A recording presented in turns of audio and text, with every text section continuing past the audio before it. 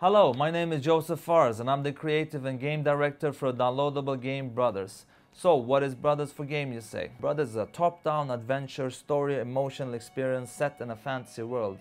The story is about two brothers in search of a cure to save their father, and you as a player will control the brothers at the same time. Let me show you how.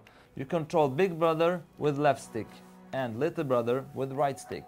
And the same goes for the interaction. You have big brother left trigger, little brother right trigger. So the brother's personality is quite different. You see the old lady over there? Now look at big brother here when he interacts. He shows her the map and she points the way. So now we go with little brother, we go to her and he will do something else. And the same there, you stop to interact when you release the button. I push with big brother, he will try to ask him, he doesn't seem to have time. You go with little brother, you push. Bam! Here we have a very angry dog that's trying to attack the brothers. So if I push big brother button, he will whistle and the dog will go to him and I can run down and get up here. And with little brother push his button, he will start to wave. So the big brother can go on.